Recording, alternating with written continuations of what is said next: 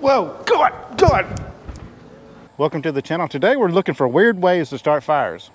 One of the easiest ways to start a fire is get you a striker and some jute. There we go. Hot.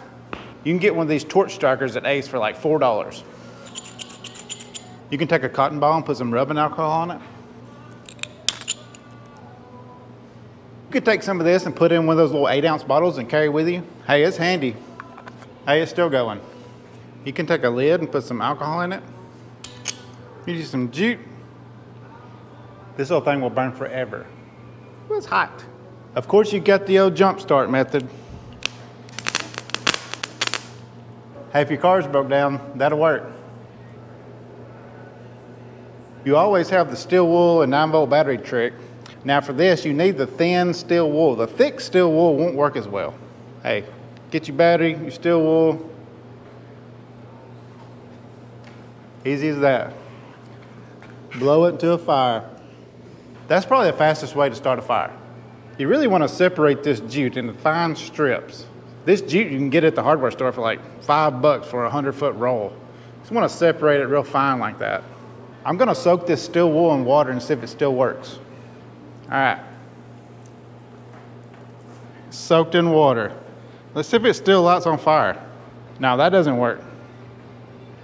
It's lighting, but it's dying real fast. So you want to keep your steel wool dry. Wet versus dry. See how fast that goes up? You bring some alcohol and a steel wool, it's gonna catch on fire.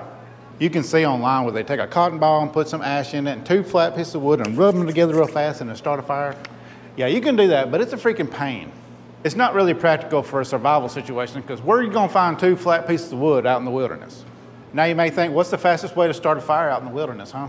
Like that. They sell little mini torches. Hey, that wouldn't be a bad idea. If you're out hunting and you got a shotgun shell, cut that sucker open. Just remove the plug and there's gunpowder in the bottom.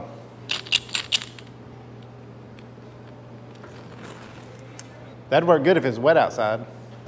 Now for a weird method, it says you can take pool shock and brake fluid and it'll combust. Kind of nervous about trying this. Let's do a small test run. Make a little hole in it. Y'all think this is gonna work? Uh, that ain't doing nothing. Maybe I got the wrong shock. Maybe I need some pure chlorine. This brake fluid says synthetic, so I'm gonna try this kind. Whoa, go God, God! Woo. Oh my God, smoking like a chimney right there. Is it gonna combust? It sure smoked, it never combusted though. See what that does. That stuff sure does stink, I give it that. There it goes, there it goes. Combust. Man, that thing smokes. Woo! That cannot be good for you. It's not catching fire, guys. Maybe I need a chlorine tablet.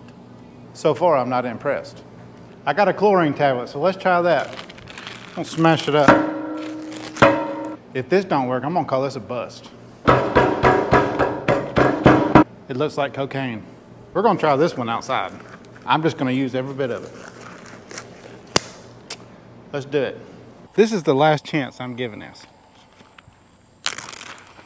Here we go. Pure chlorine right here, guys. Here we go. See what happens. If this doesn't catch fire, I don't know what I'm doing wrong. Here we go, guys.